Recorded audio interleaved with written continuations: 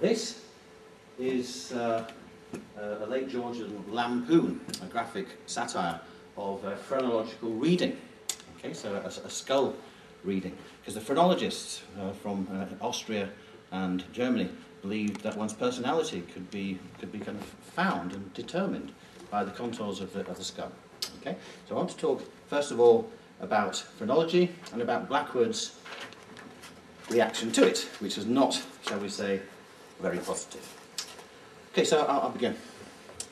In September 1814, amidst considerable public interest in phrenology, the science, perhaps we should put that in inverted commas, of delineating character from an examination of the shape of the skull, the poet Lord Byron was visited by the German practitioner J. G. Spurzheim. After the physician had pronounced about the significance of the contours of the poet's head, Byron confessed himself a little astonished by Spurzheim's comment that everything developed in and on this same skull of mine has its opposite in great force, so that to believe him, my good and evil faculties are at perpetual war. Pray heaven the last don't come off victorious. So the reading of Byron's, uh, Byron's skull. So Byron's admiration is, of course, rather joshing and jocular. But few of the great satirist's peers, uh, especially amongst the satirical uh, wits of the early 19th century, were as charitable phrenology. So to phrenology. So phrenology, or to use the alternative phrase, craniology, became very contentious in the late Georgian Romantic era, so the early 19th century. So on the one hand, adherents of phrenology praised the science as a, a master science, which was capable of unlocking the secrets of human personality. On the other hand, uh, its opponents condemned phrenology as the harebrained ravings of absurd German theorists.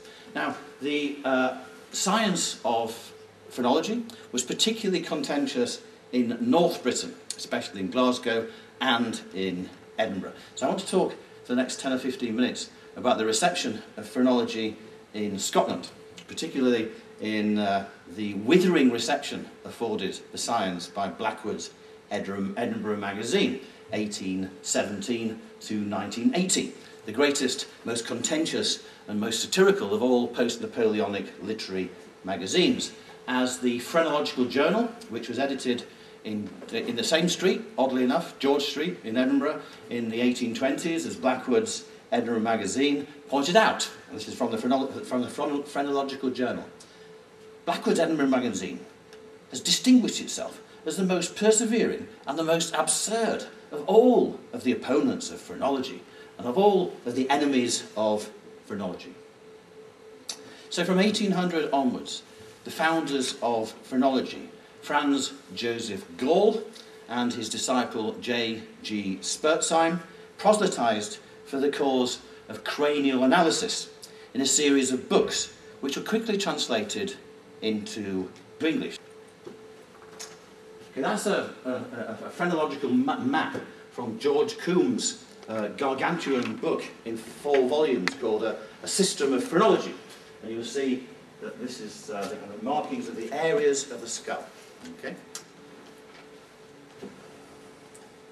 So Gall and Spurzheim argued that an individual's mental attributes consisted of separate faculties, such as adhesiveness, destructiveness, combativeness, and so on, each of which had its location or organ on the surface of the brain. So the larger the development of the brain with reference to these various, these various organs, then so you could actually, uh, you could actually kind of track the development of the brain on the shape of the skull. So as the, thank you, as the skull uh, formed in childhood, then the, uh, the, various, uh, the various faculties, you can actually mark them on, on, on, the skull. So as the skull hardens in childhood, it is shaped by the protuberances of the brain. So hence the importance of the external cranium and the reading of the cranium. So through the analysis of the skull, the phrenologist can determine the nature and personality of any individual. So here's an early 19th century phrenological map. Okay? So, those of you uh, wishing to, uh, to kind of engage with phrenological analysis might find it illuminating to do some practical phrenology.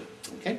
So let's, let's do so. So put a finger at the, the base, at the back, at the top of your neck, okay? And then move it up slightly to where the skull, to the base of the skull. And you should feel a lump, especially if you hold your head up straight. Can you, can you feel a lump? Okay? Right. Okay, so that, that is the, the, the bump at the base of the skull is the organ of amativeness. Okay? And it is, according to Gall, the organ and faculty that gives rise to sexual feeling. So the larger your organ of amativeness, the more kind of uh, libidinous you are. Okay? Right, so. Everyone's checking again, so, so, slightly behind the ear, uh, about, about half an inch behind the ear and up, you will feel your organ of combativeness. So if you're a, a quarrelsome and, an aggressive person, you will feel a kind of a, a bump just above, above your ear. If you are good-tempered and, and, and kind, there will be little cranial protuberance in this area. Now, where the top of the jawbone meets the skull, this is the organ of alimentiveness. Okay? So watch out if you are well developed there, because uh, listeners uh, should beware. According to Spurzheim, this excessive alimentiveness, quote, gives rise to gluttony, drunkenness, and the love of strong liquors, and also of smoking. Okay, so,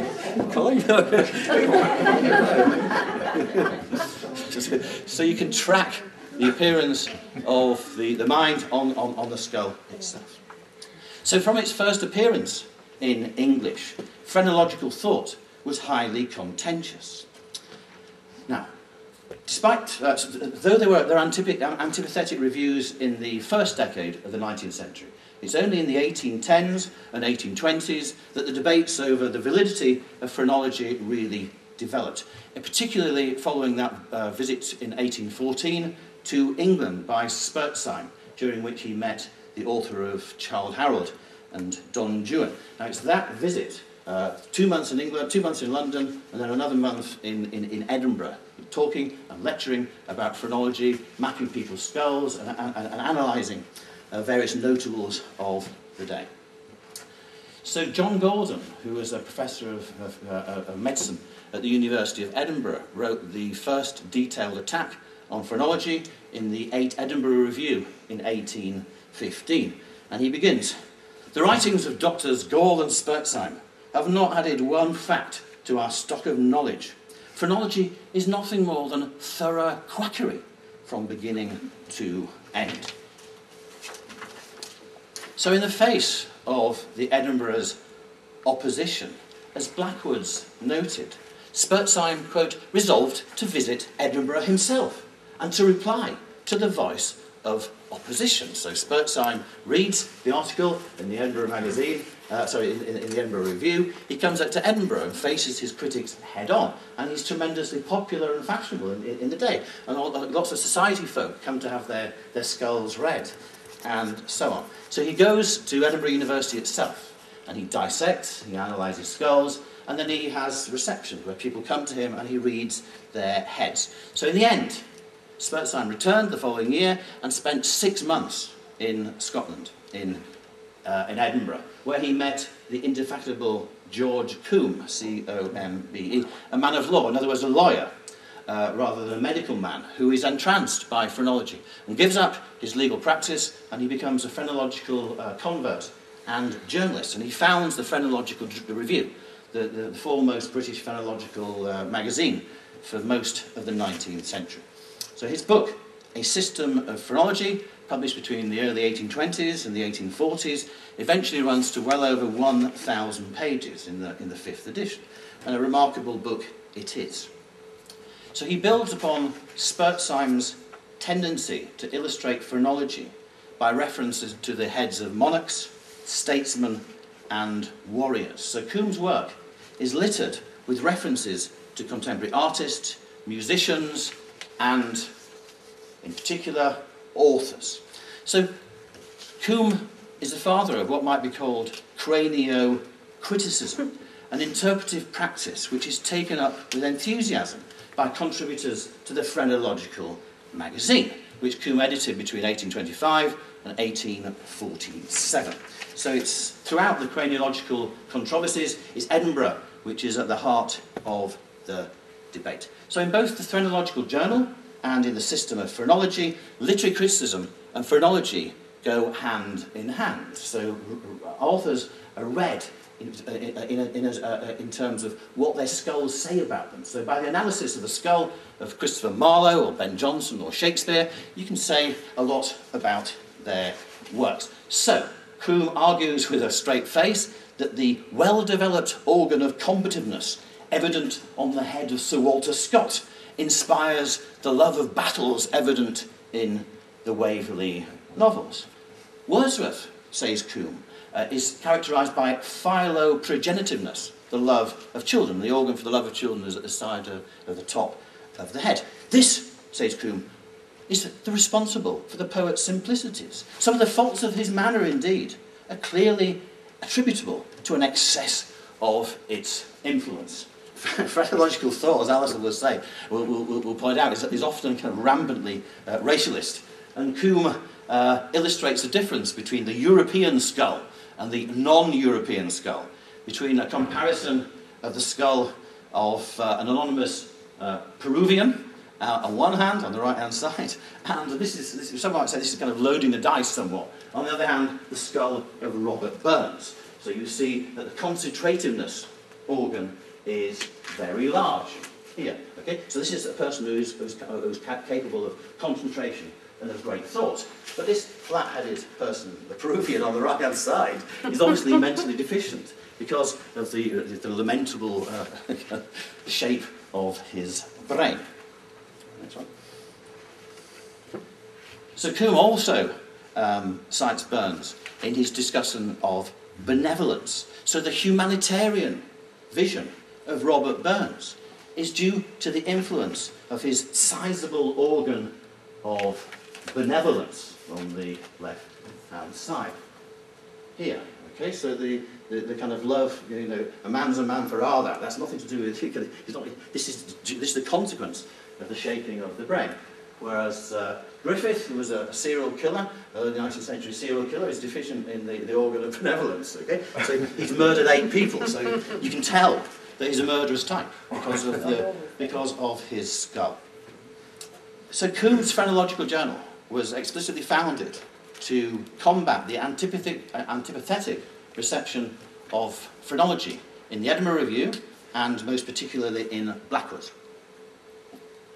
So in 1825, in the prospectus to the first number, Combe writes this.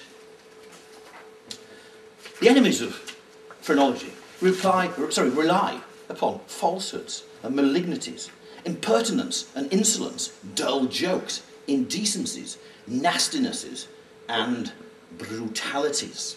Okay? So they say, well, yeah, we, we can respond to, uh, uh, to uh, responsible criticism, but we will not listen to the kind of unfair, satirical kind of nose thumbing of the likes of Blackwood's Edinburgh magazine. We pledge ourselves to honour and respect all candid, fair, and philosophical opponents whose object, like our own, is scientific truth. But we do not approve, and we will not listen to. We will repel all offensive operations of satire by those we designate our enemies, to brand their attacks as disgraceful, etc., etc., etc.